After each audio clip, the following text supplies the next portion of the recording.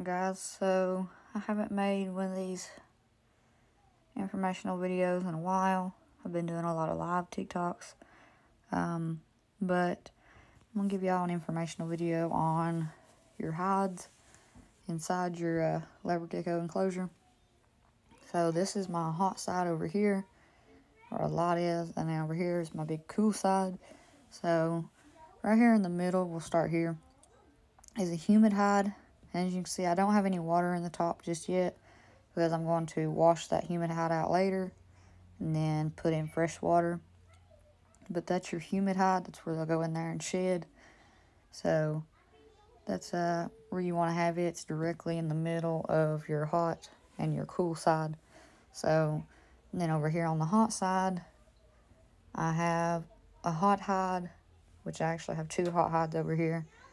I have one that I have put super glued a piece of cardboard directly in the middle of it so they have the option to be on the bottom or be up on the top there.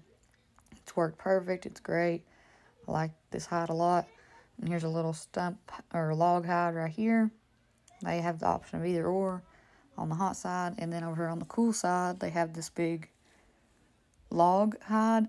They can get, they can go in this way right here. They have this little cave area right here. This little basking area and that little basking area down there. So this would be your cool side, cool hide area. Middle area is for your humid hide always. And then hot side, you'll have your hot hide over here. As you can see, they have plenty of floor space. This is a very large enclosure. I like this enclosure because it has the handle right here. And when you want to go clean it out, you just flip your little things here and here. And just take this all the way out and it dumps out very nicely. It's easy to wipe down and clean.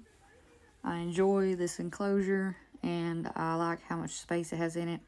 Um, also, I'm going to be adding more um, things for them to climb on. So, I'm going to add some cork bark and driftwood and all that good stuff in there soon. Right now, I have some nice little vines for them, some fake plants throughout the tank, some more vines on this side, some more fake plants back there in the back. But um, there's Quinn. She's saying hello. She she she likes that option of being on the top. So yeah, just stay uh, watching out for more videos because I'm gonna add some, you know, add some thanks to the tank. So um, yeah, thanks for checking in, and I hope y'all enjoy this video and hope to help y'all out with anything. And see y'all in the next one. Peace.